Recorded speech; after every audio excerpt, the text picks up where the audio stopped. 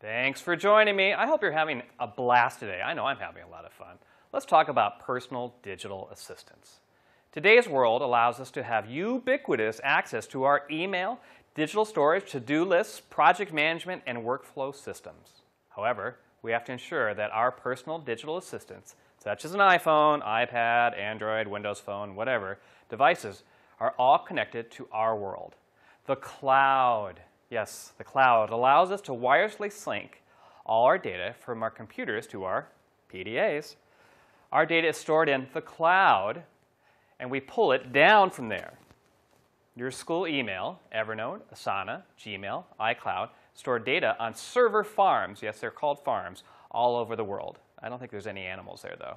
This lesson will help us stress test our PDA and make sure it works properly. Let's stress out the PDA so that we aren't stressed ourselves.